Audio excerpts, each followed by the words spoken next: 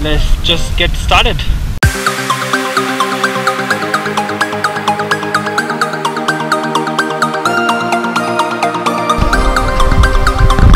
There it is, Chandratal Lake.